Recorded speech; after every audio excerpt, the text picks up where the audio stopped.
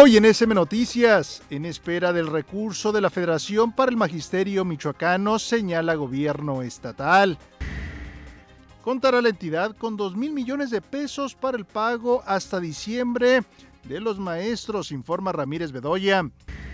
Imposible reparar daños causados por el paso del huracán Ora sin el apoyo de la Federación.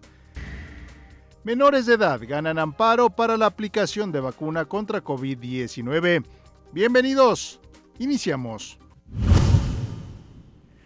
Hola, ¿qué tal? Les saludo con el gusto de siempre. Gracias por acompañarnos en SM Noticias hoy el lunes 13 de septiembre del 2021. Saludo a usted que nos sintoniza a través de las diferentes señales del Sistema Michoacano de Radio y Televisión, Vía Mexicanal en los Estados Unidos y al sur de Canadá. Mi nombre es Eric Serpa, agradezco a mi compañera Marta Almanza, intérprete de lengua de señas mexicana, y a todo, a todo el equipo que hace posible este espacio informativo y también nuestro reconocimiento y felicitación a todos los intérpretes de lengua de señas mexicanas vinculados a la educación el día de hoy, conmemorando su día.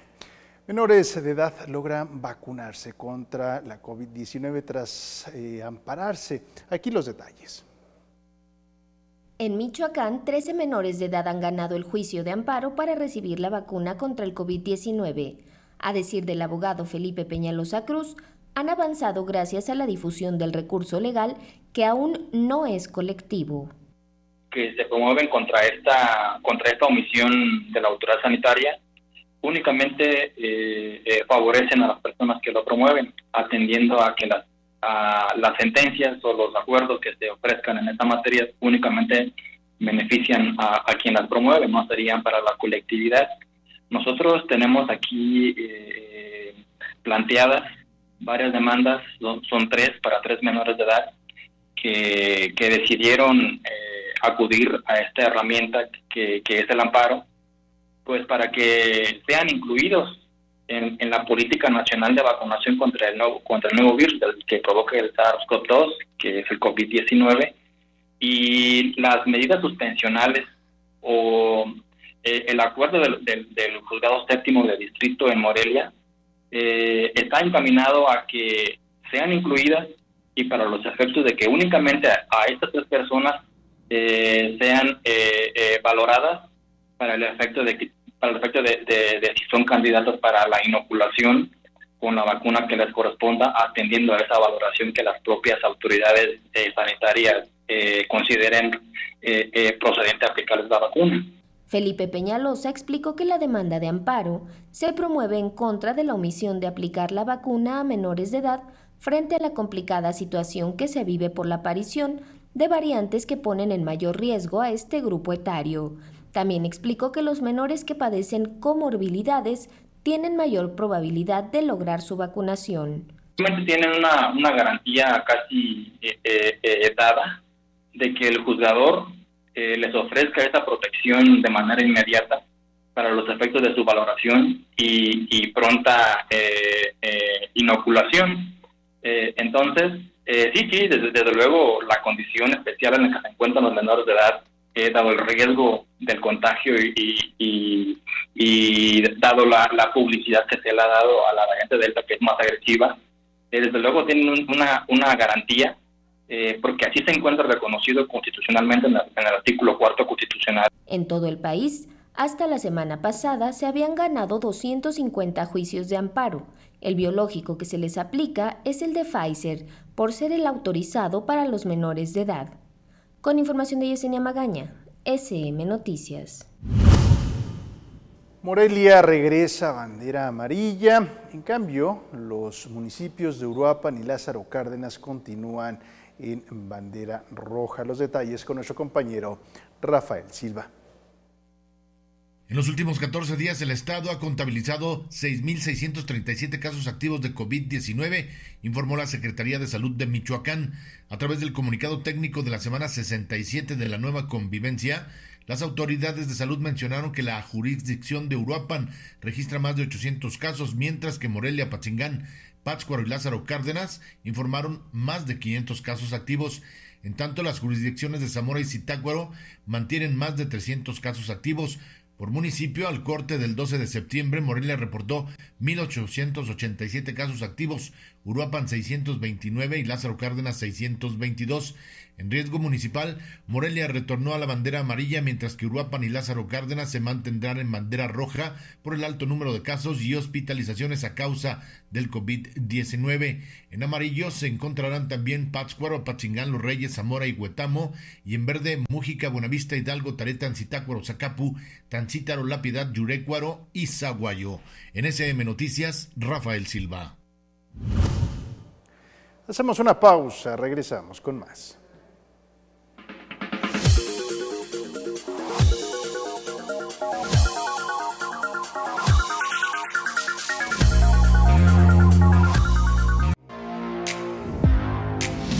Una producción de Canal 11 con el apoyo de CONAPRED, que busca crear conciencia y erradicar los distintos tipos de discriminación que enfrentan los jóvenes. El mundo es mejor sin etiquetas.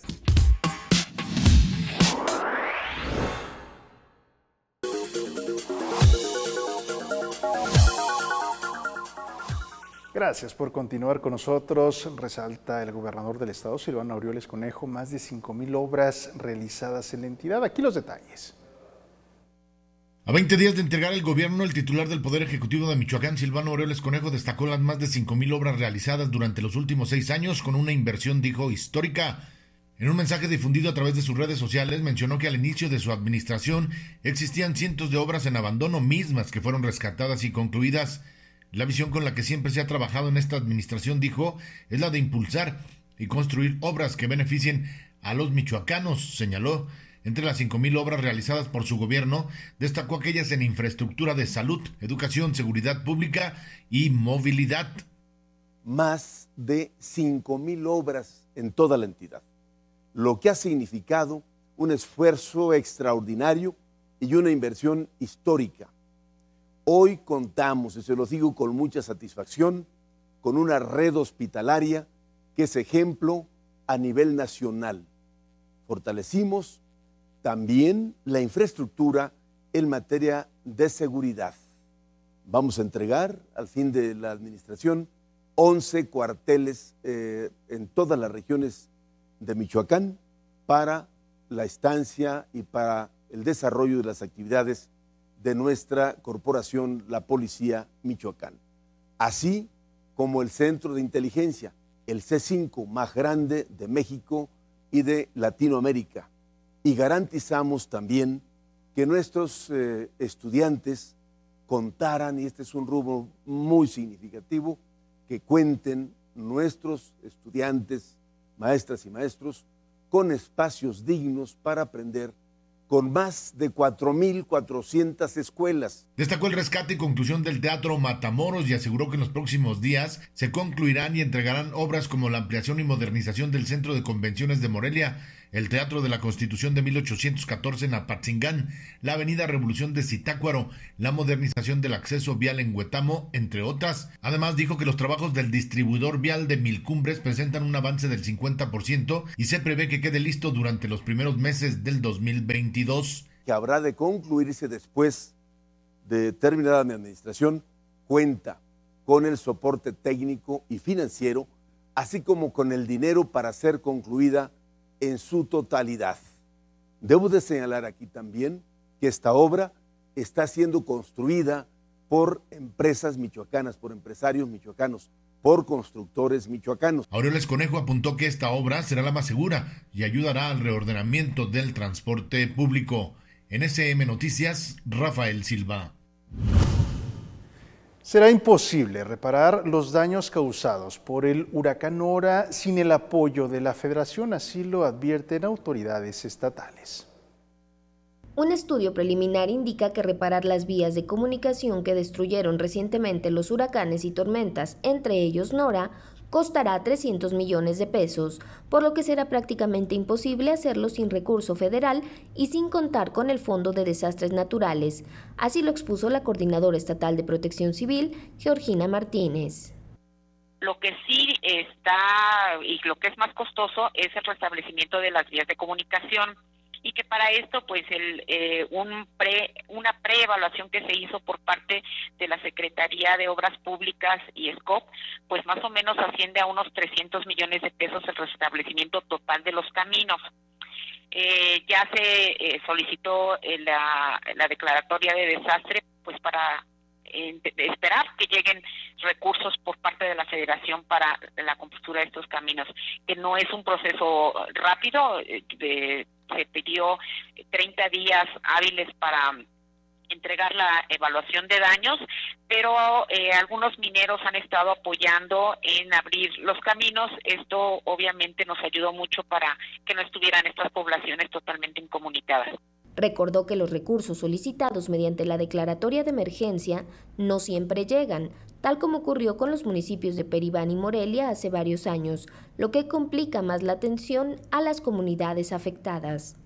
Recordemos que en algunas de las declaratorias de desastre que hemos hecho, como fue en Peribán y en Morelia, pues el recurso federal no llegó y pues aunada ahora la desaparición del Fonden pues eh, pues se ve más complicado entonces de que se tendrá que hacer algún trabajo pues sí eh, la, ahora el, las nuevas autoridades estatales y, y, la Federación pues tendrán que ver cómo rehabilitan estos estos caminos Georgina Martínez expuso que los negocios que sufrieron daños fueron referidos con la Secretaría de Economía para su mejor atención. Con información de Yesenia Magaña, SM Noticias. Tres y media toneladas de productos no perecederos, ropa y zapatos se enviaron al municipio de Lázaro Cárdenas en apoyo a las familias damnificadas por el huracán Ora. Como resultado de la colecta que durante la pasada semana realizaron organizaciones e instituciones educativas, este lunes se enviaron tres toneladas y media de productos no perecederos de higiene personal, cobijas, ropa y zapatos.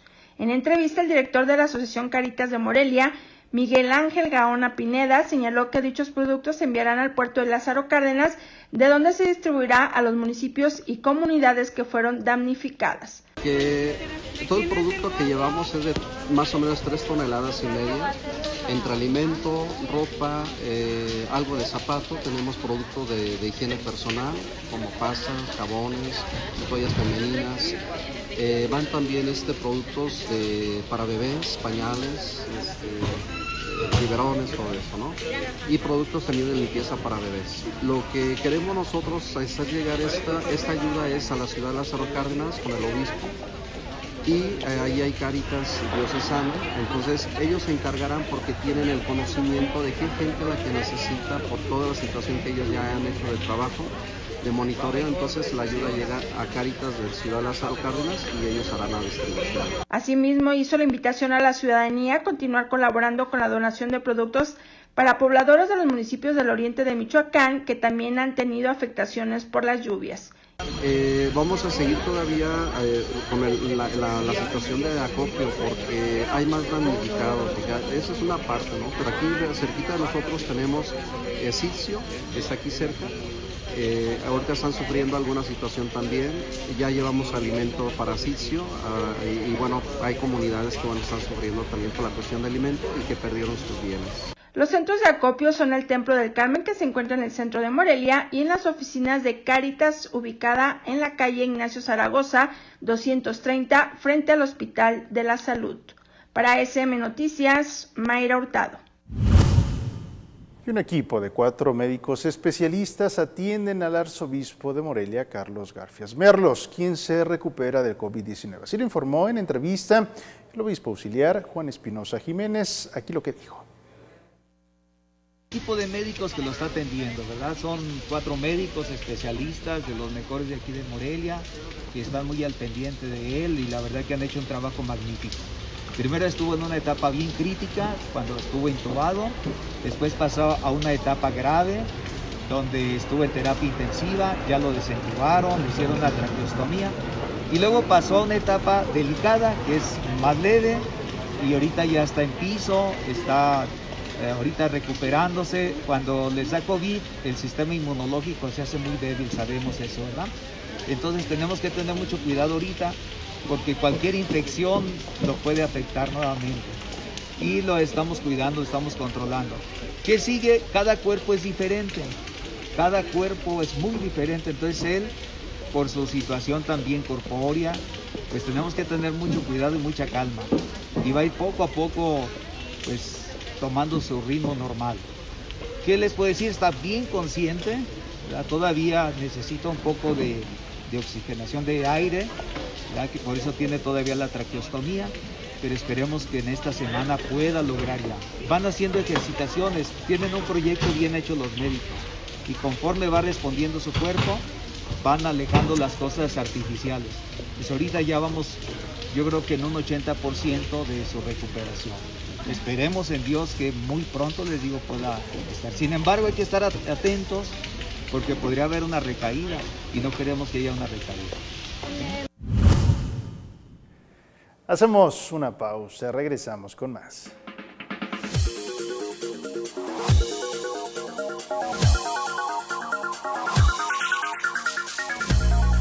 Disfruta de nuestros contenidos en cualquier parte de Michoacán, México y el mundo desde nuestra página web. Ingresa a www.sistemamichoacano.tv diagonal TV y ahí encontrarás una ventana a la cultura, música, deportes y noticias. Todo desde tu teléfono inteligente, tableta y computadora. SM Televisión va contigo a cualquier lugar a través de Internet.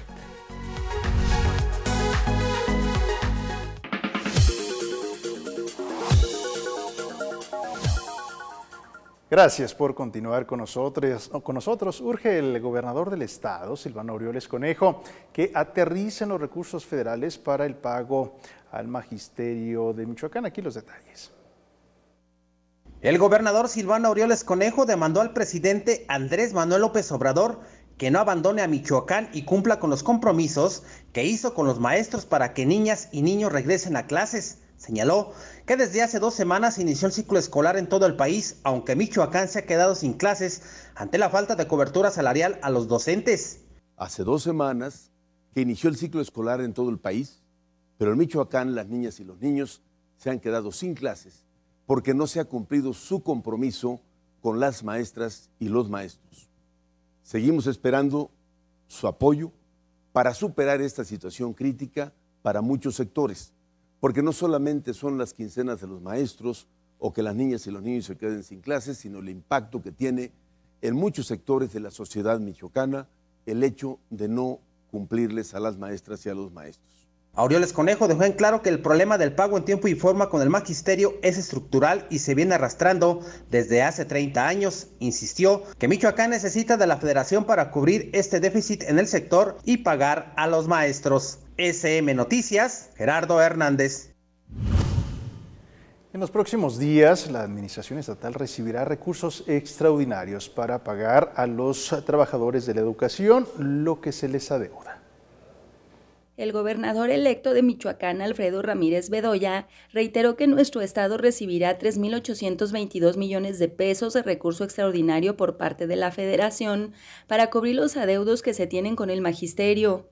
A la actual administración de aquí al día último de septiembre se le otorgarían 1.440 millones de pesos. También eh, los bonos por 651 millones de pesos, que es lo que se adeuda del año 2020.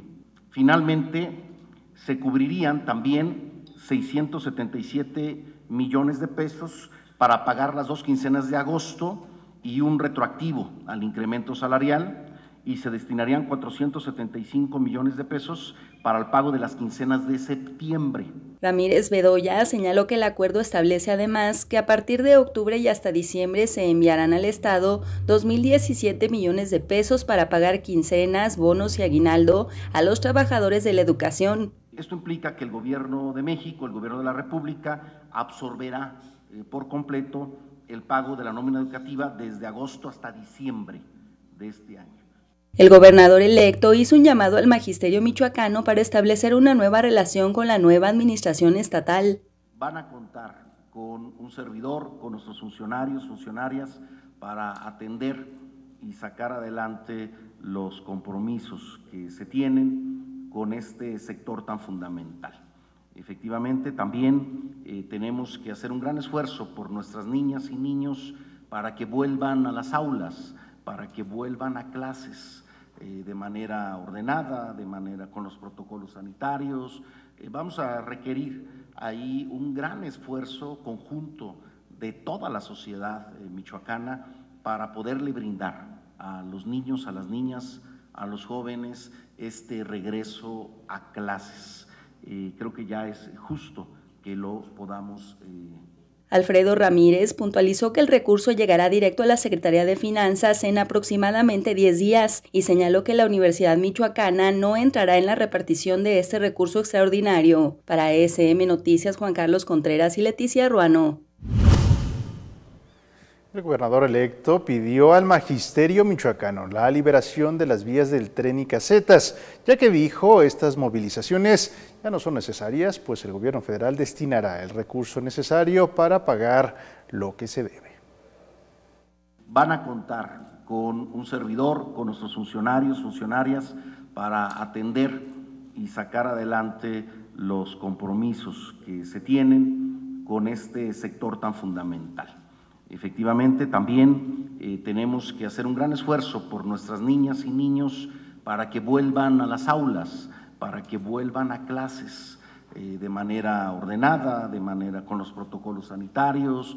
Eh, vamos a requerir ahí un gran esfuerzo conjunto de toda la sociedad michoacana para poderle brindar a los niños, a las niñas, a los jóvenes este regreso a clases creo que ya es justo que lo podamos eh, hacer.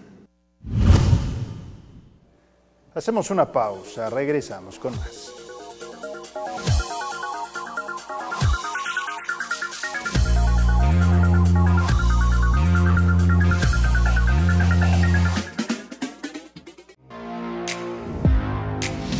Una producción de Canal 11 con el apoyo de CONAPRED que busca crear conciencia y erradicar los distintos tipos de discriminación que enfrentan los jóvenes. El mundo es mejor sin etiquetas.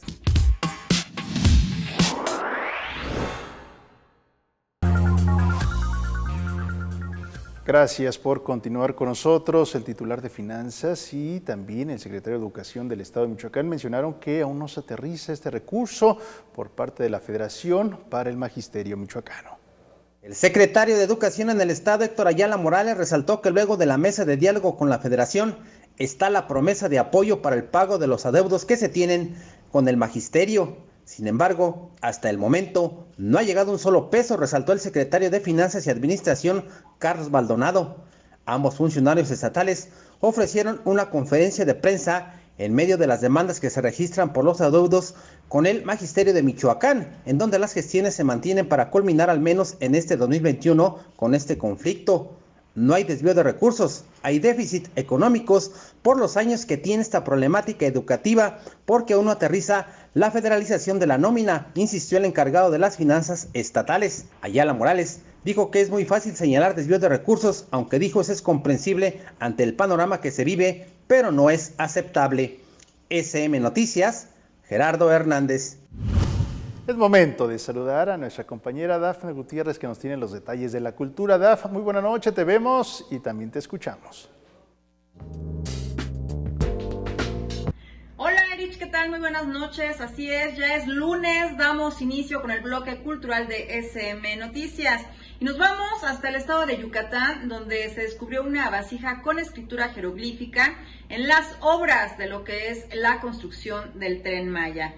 Y aquí en Michoacán, el Instituto del Artesano ofrece descuentos con motivo del mes patrio al público en general.